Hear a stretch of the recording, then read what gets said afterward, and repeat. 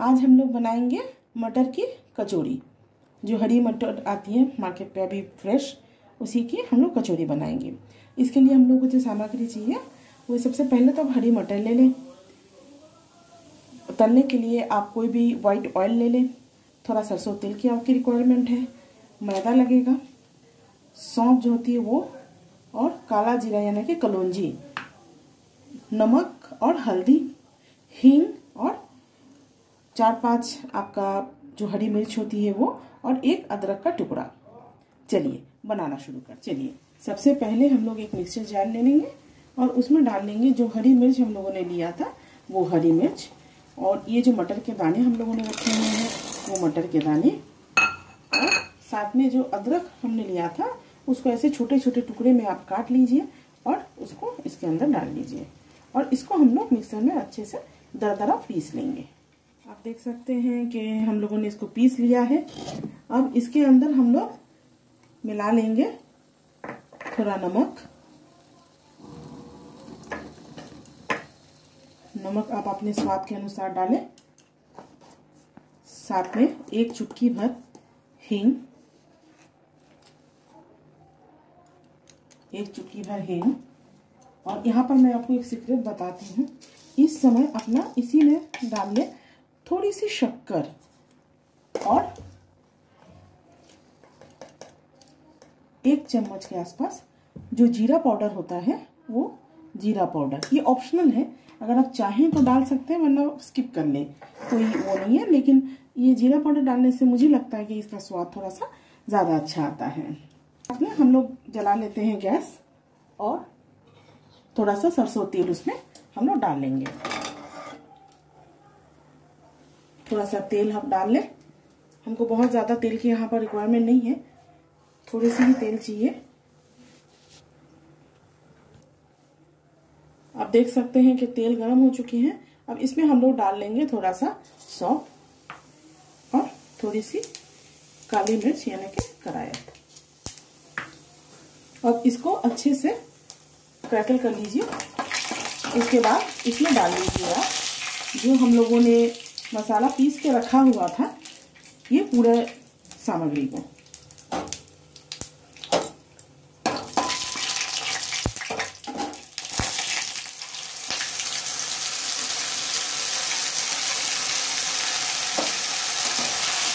और इसको चलाते हुए हम लोगों को थोड़ी देर भूनना है। आप देख सकते हैं, इसका पानी को हम लोगों को पूरा सोख लेना है। ये थोड़ा सा ऐड जाएगा, तब तक तो हम लोगों को इसको थोड़ा सा चलाते हुए रहना है। और इसमें हम थोड़ा सा डाल लें हल्दी। और इसको मिला लें।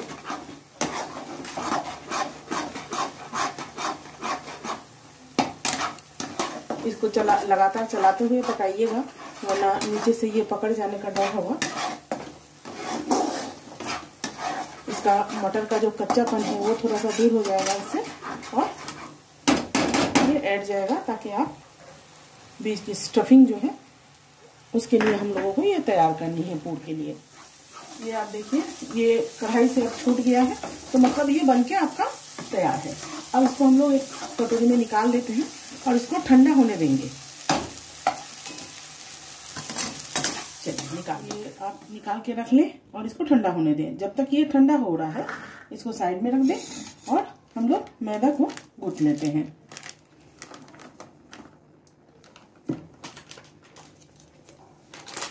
मैदे में मिला लिए थोड़ा सा नमक। और इसको अच्छे से मिला लें। अब देख सकते हैं नमक अच्छे से मैदे में मिल गया है। अब इसमें थोड़ा सा वाइट ऑयल डालें मयान के लिए और इसको पूरा अच्छे से मैदे में इस तरह से मिलाते हुए पूरे आटे में या मैदे में आप मिला लें आप चाहे तो मैदे के बदले आटे का भी इस्तेमाल कर सकते हैं। इसको बहुत अच्छे से मिलाइएगा आटे में। आप देख सकते हैं, आटा कैसे भुरभुरा हो गया है। अब इसमें आप पानी डालें और गूंथ लें। आप देख सकते हैं, मैदा बहुत अच्छे से गुथा गई है। ये आपका कंसिस्टेंसी ये होनी चाहिए। अब इसको पंद्रह मिनट के लिए हम लोग ढक के छोड़ देंगे रेस्ट के लिए। चुके हैं। एक बार हम लोग फिर से मैदे को थोड़ा सा इस तरह से पंच दे के गूँथ लेंगे और एक बार, और फिर इसका लोई काट लेंगे। इस तरह से आप आटे की लोइया काट लें। कढ़ाई गरम कर ले, उसमें डाल ले वाइट ऑयल फ्राई करने के लिए। तेल को आप गरम होने दें। आप देख सकते हैं, तेल गरम हो चुकी है। अब हम लोग एक एक करके इस तरह से लोइया लेंगे और इसमें थोड़ा सा मैदा ऊपर से बुरक लेंगे और इसको हल्के हाथों में थोड़ा सा फैला के बेल लेंगे।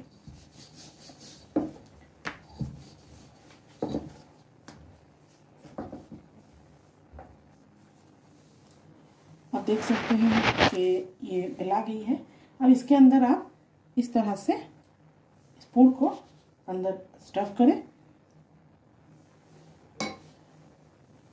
और इसको उठा के चारों तरफ़ से बंद कर दें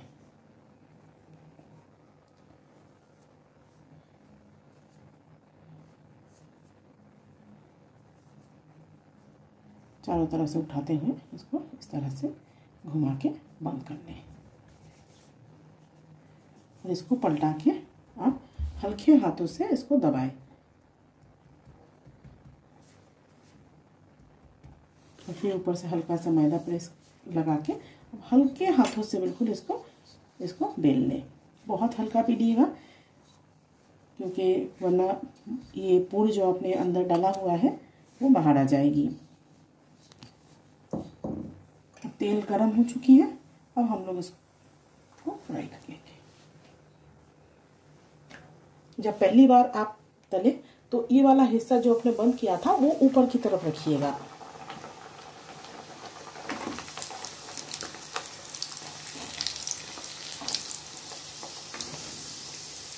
दोनों तरफ़ से आपको इसको सेक के निकालना है। जब एक तरफ़ अच्छे से लाल होके ये फ्राई हो जाए, उसके बाद इसको आप पलट के दूसरी तरफ़ भी सेक लें।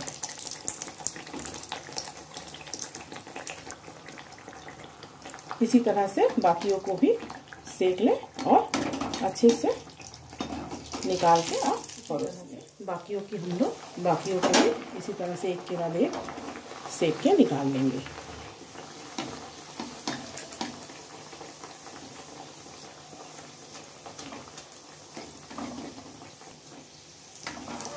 इस तरह से आप पलटा लें और पलटा के दोनों तरफ़ इसी तरह से सेके और निकालें। बन के तैयार है। आपकी मटर की, हरी मटर की कचौरियाँ। आप देख सकते हैं, मैं एक आपको निकाल के बताती हूँ। ये बहुत सॉफ्ट है और खाने में भी बहुत स्वादिष्ट। ये देखिए, इस तरह से कचौरी की पूर आपके अंदर रहेगी और आप इसको हरी चटनी या फिर किसी और चीज़ के साथ भी आप परोस सकते हैं।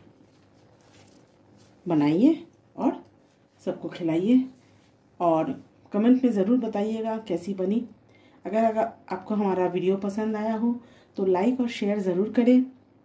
जो भी नए विजिटर हैं, वो हमारे चैनल को सब्सक्राइब कर लें और बेल आइकन को दबा दें, ताकि आगे के जो भी वीडियोस हैं, वो आपको मिलते रहें। Thank you